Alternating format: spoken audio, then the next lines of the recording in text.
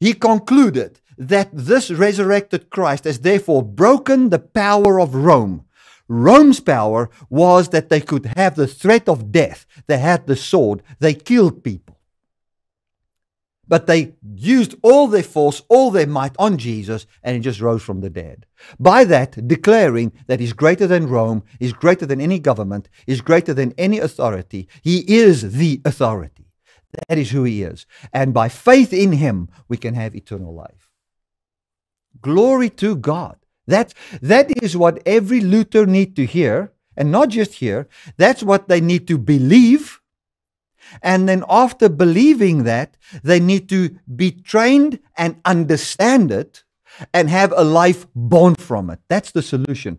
This is the message that Cyril Ramaphosa, that Jacob Zuma, Julius Malema, this is the message that not just them, but church leaders need to know and believe and have a life born from.